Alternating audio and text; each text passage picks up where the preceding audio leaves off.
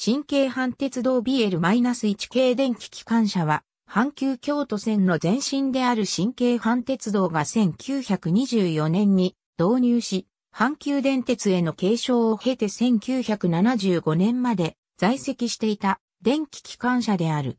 新京阪では1の3号として導入され、1929年に出来2000型に改称した。阪急への継承後は2000型から3000系、4300型と順次改称された。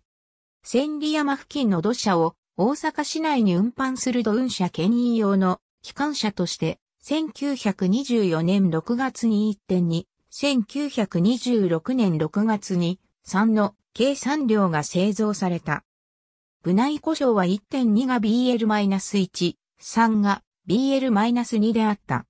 電気方式は北大阪電気鉄道の開業区間に合わせた直流 600V で、集電装置はトロリーポールを採用、制御装置はイングリッシュエレクトリック製の間接非自動である。土運車との連結用に自動連結機を備え、台車はブリル車製のアーチバー型であった。製造は東洋電気製造製とされるが、車体は汽車製造製であった。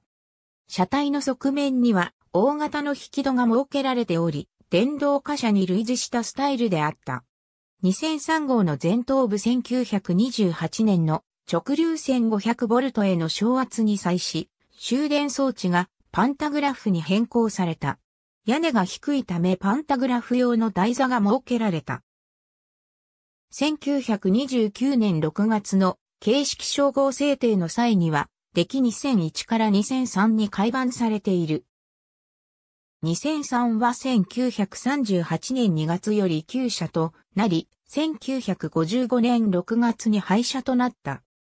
1960年の2000系、1964年の3000系新造時に改版が行われており、1960年10月には2001.2002から3000系3001.3002に改版、1964年4月には3001.3002から4300系4301.4302に改版されている。運用末期は工事用車両の牽引車として用いられ、1975年3月に除籍された。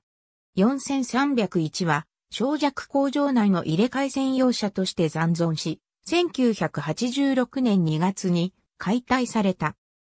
1955年に廃車となった2003は、車体の半分を切断、整備の上で保存されている。